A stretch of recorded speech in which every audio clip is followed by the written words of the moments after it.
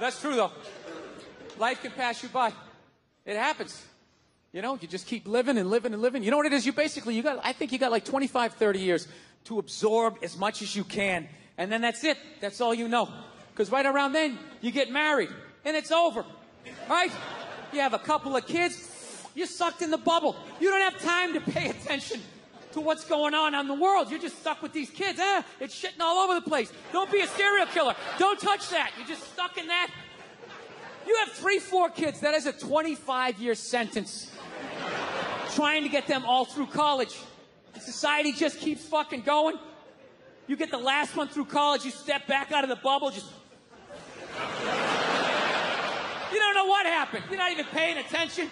You go back to your old record collection.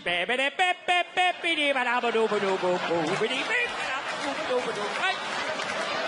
Someone sticks a mic in your face, you're gonna get in trouble. Yeah. It's one of the sad things about life.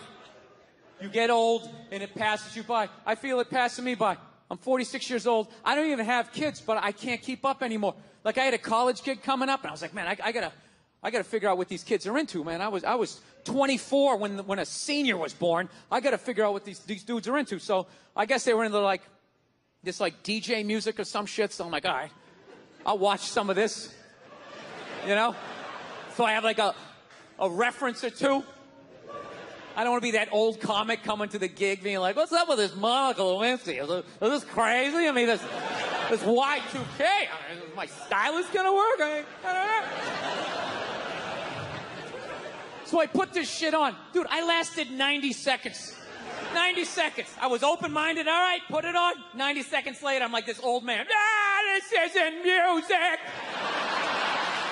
Now, when I was a kid, you dressed like a woman and you sung about the devil. Now, now that was music. And, and you had one ballad every album. Started off in black and white, and when the guitar solo came in, it went to color. Ah, that was music. Yeah.